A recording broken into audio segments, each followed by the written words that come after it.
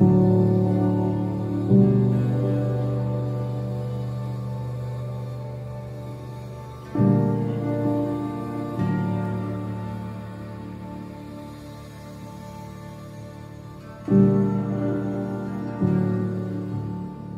you've ever been to the Delaware beaches, you know that it doesn't take long to see why so many people are drawn to the area. The scenery, the atmosphere and recreation, and the history are just a few examples of why so many people flock to the Delaware beaches regularly. But if you have been to the Delaware beaches, I'm sure you've noticed these strange towers that stick up out of the landscape. But once you look into the history of these towers and what they are originally for, you gain even more appreciation for the First States coastal area.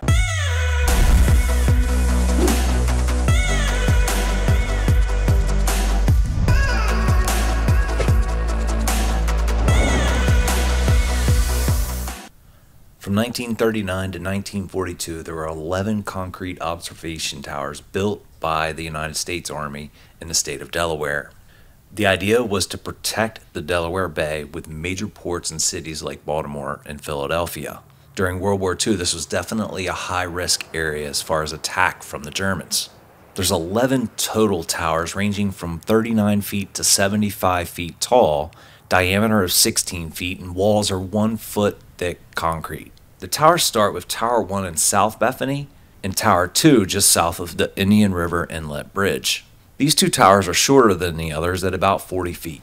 Bethany Beach is what I call Delaware's quiet beach. It's a lot more calm in Bethany. There's less crowds, there's less commercialization, there's just a little slower lifestyle in Bethany, and I love Bethany for that reason.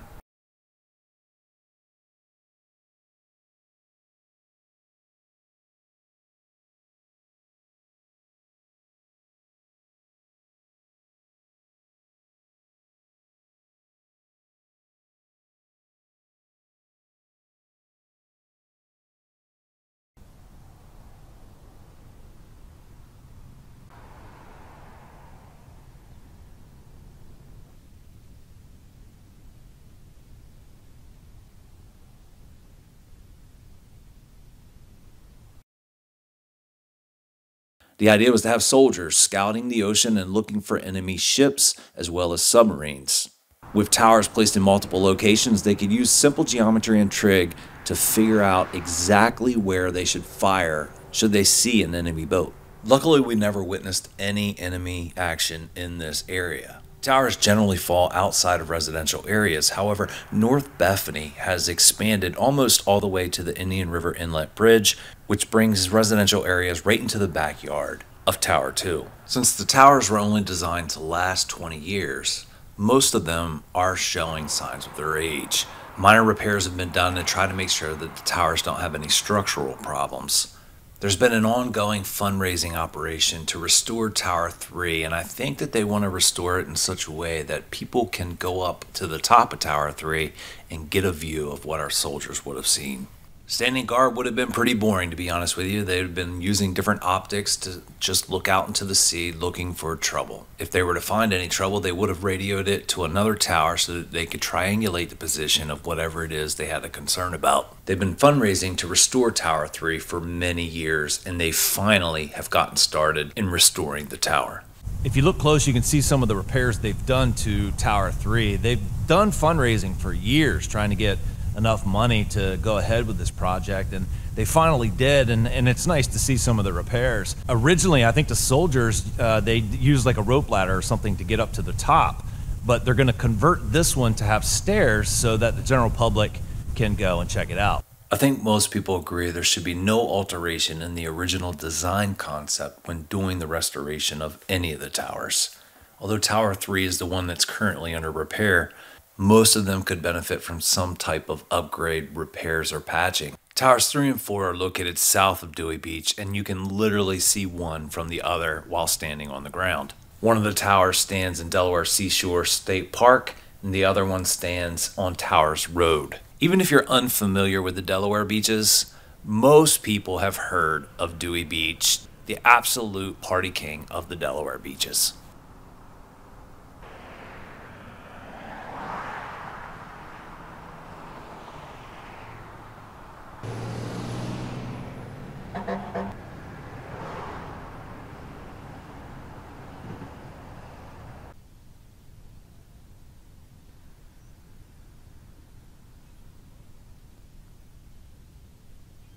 You have to remember the point of the towers were to alert us if we saw any enemy submarines or ships off the coast. So the more towers that we had along the coast, the better the triangulation we could do to figure out exactly where the enemy ship or submarine is. That way we could point the big guns that we had mounted on the coast at the ships and destroy the threat. They chose the location of the towers so they could use math to uh, triangulate where a ship might be if they spot one out in the ocean. That way they could get you know more exact coordinates so that if they needed to destroy it or shoot it or whatever, that they had a precise location on on where it is. Even if you haven't been to Delaware or the Delaware beaches, you've probably heard of Rehoboth Beach, Delaware. Rehoboth is definitely our most popular beach town. Arguably, it has the best beaches, the most restaurants, the most shopping, and ultimately just the best beachy atmosphere. But on the northern side of Rehoboth Beach at Gordon Pond State Park sit two towers right on the beach. In fact, they're so close to the water that during high tides at times, the waves crash against the towers. And unfortunately, this means that the lifespan of these towers is probably coming to an end soon if action isn't taken to prevent any more damage or save them.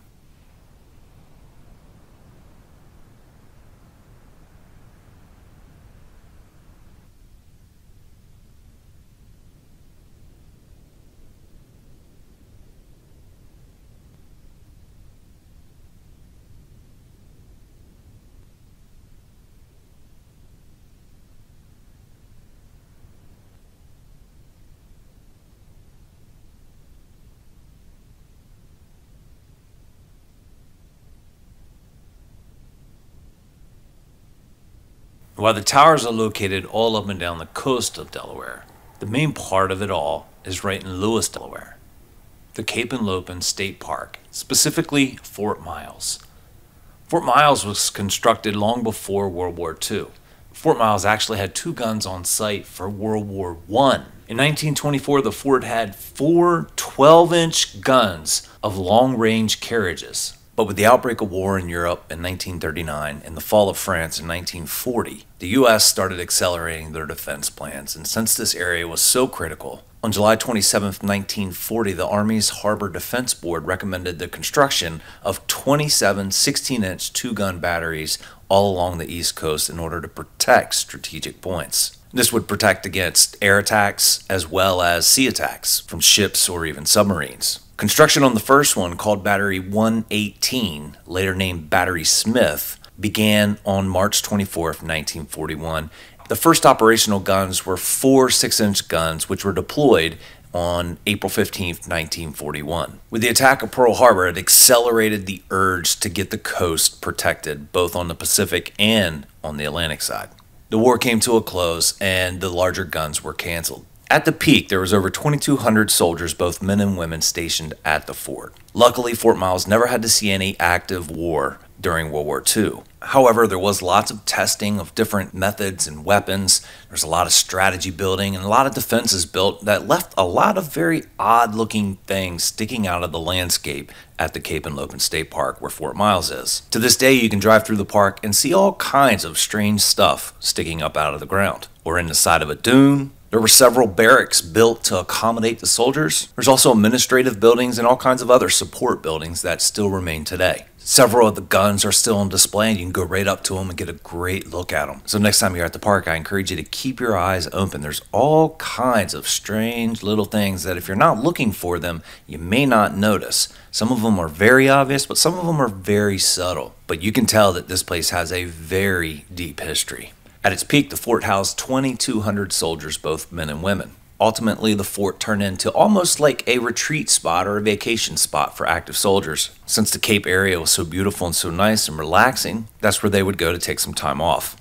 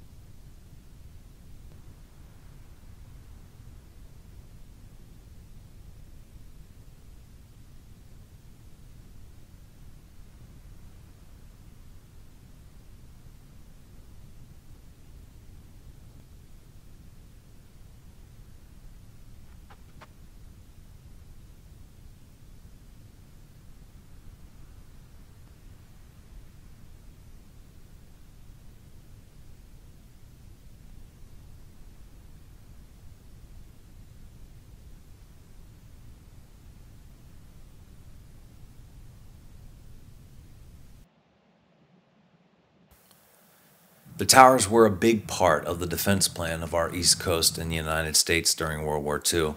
Without advance notice, we'd have been very susceptible to an attack. Inside of Cape Henlopen State Park, there's several towers, but Tower 7 that has a spiral staircase and it goes all the way to the top of the 75 foot tower with an observation deck on the very top. It's some of the best views in the area. Now, this is not what it would have looked like in here when these towers were constructed. The soldiers would probably have some type of ladder right here in the middle that took them up to the low deck. Once they got up there, they could go between decks. I'm sure each tower had, a, you know, at least a couple decks, and including the top of the tower. I think it's really cool. They put the stairs in here. Uh, I think that they're adding stairs to uh, Tower Three or Four back in Dewey and maybe that'll allow us to get a pretty cool perspective from on top of the tower there once they uh, once they get it rehabbed. Let's go ahead and go up these stairs and see what we can see.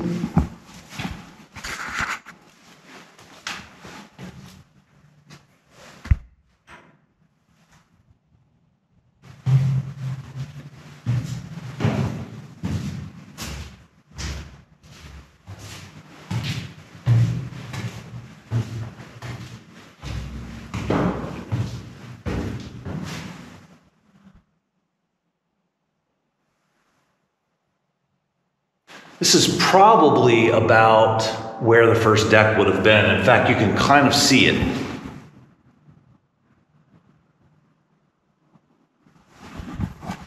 Because this is where the, I don't know what you want to call them, but you know, the holes so that you can uh, see what's going on outside so they can keep uh, watch. And uh, you can see that they've taken the floor out of here of what used to be here.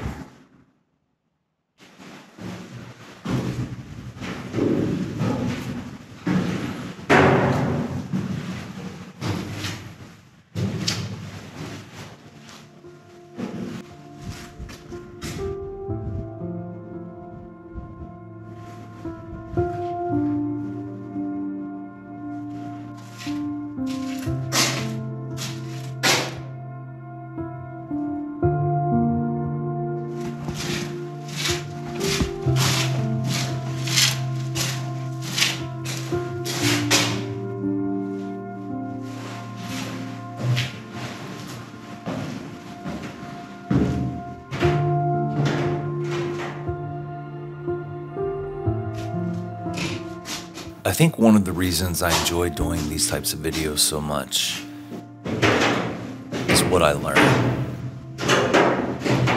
There's so much history behind all the places that we live.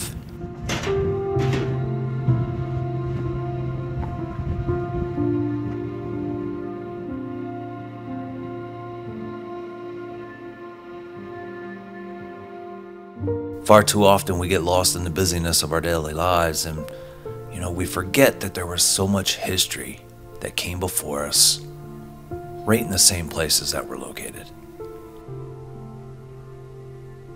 It's good to reflect on it. It's good to remember it. It's good to appreciate it.